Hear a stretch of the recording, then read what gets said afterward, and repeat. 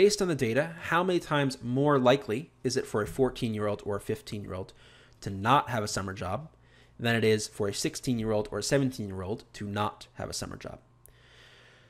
What you need to be very careful here is to not compare the raw numbers.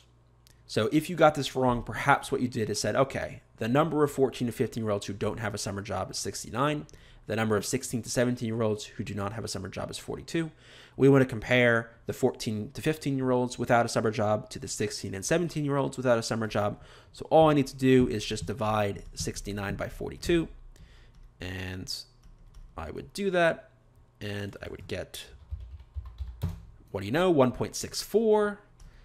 So hooray, that's choice D, but then that's wrong because the issue here is you have to compare the percentages. You have to compare essentially the probability that a 14 to 15 year old has a summer job and a 16 to 17 year old has a summer job. Because if you notice, the number of students that we've sampled, the number of, of kids that we've sampled, is different for each of these classes. So we can't just compare these numbers directly because let's just make this an extreme case. Let's say I talk to a thousand 14 to 15 year olds and only 81 16 to 17 year olds, you're going to have a lot more kids who've got a summer job or who don't have a summer job in this sample. But that's just because I, I talk to more of those students. It's not anything necessarily about that population in itself. So this is just going to show that you cannot compare the raw numbers. You first have to find the fraction, the probability, the percentage of these groups that don't have summer jobs and then compare those. So let's do that. The fraction of the 14 to 15 year olds who don't have a summer job is 69 divided by 89. So that's 0.775. The fraction of the 16 and 17 year olds that don't have a summer job is 42 out of 81. 0.5185. So we'll say 0.519.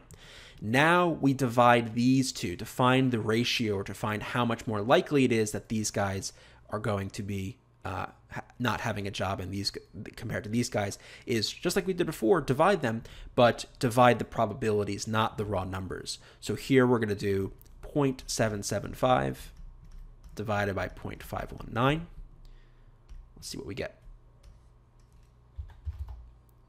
775 divided by 0.519 gets me 1.49.